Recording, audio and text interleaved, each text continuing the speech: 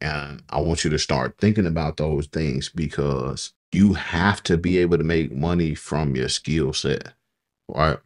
If you transition into tech, you have to have a skill set. You have to find a correct career path.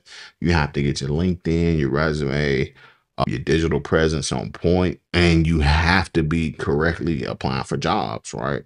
So it's all those steps that are in that process to transitioning but it starts with you. So if you guys are learning the wrong things or not focusing on what's going to actually get you the results that you want, then there's no way I can help you. Right. Uh, so that's what I want you guys to understand. But yeah. Said all that to say, uh, in reference to do you need to learn the computer science principles in order to learn how to code?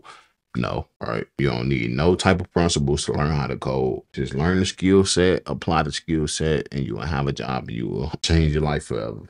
For sure.